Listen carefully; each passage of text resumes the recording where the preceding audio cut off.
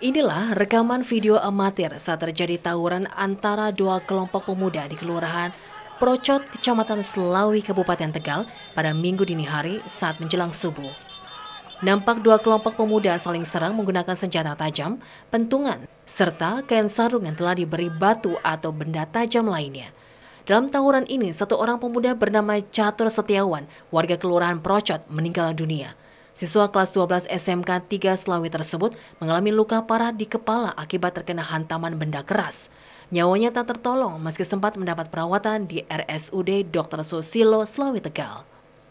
Sementara itu, Satreskrim Polres Tegal minggu malam telah mengamankan 10 orang pemuda dari kedua kelompok yang terlibat tawuran. Polisi belum menetapkan tersangka, Polisi belum menetapkan tersangka di antara ke-10 pemuda yang diamankan karena masih dilakukan pemeriksaan secara intensif.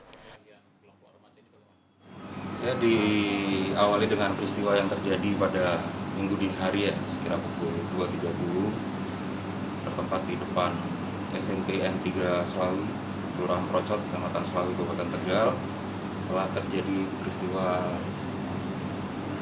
penganiayaan yang dilakukan secara bersama-sama terhadap uh, salah seorang korban. Hasil penyelidikan kami, uh, benar si korban ini dianiaya oleh lebih dari satu orang, kemudian menyebabkan korban tidak sadarkan diri lalu dari, dilarikan ke rumah sakit dan dinyatakan meninggal dunia pada sore hari tadi. Hingga minggu malam, jenazah korban masih berada di kamar jenazah RSUD Dr. Susilo Selawi Rencananya jenazah akan diotopsi pada Senin pagi.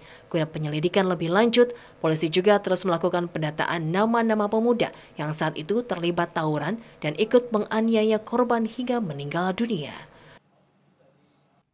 Trihandoko, RCTV, Tegal.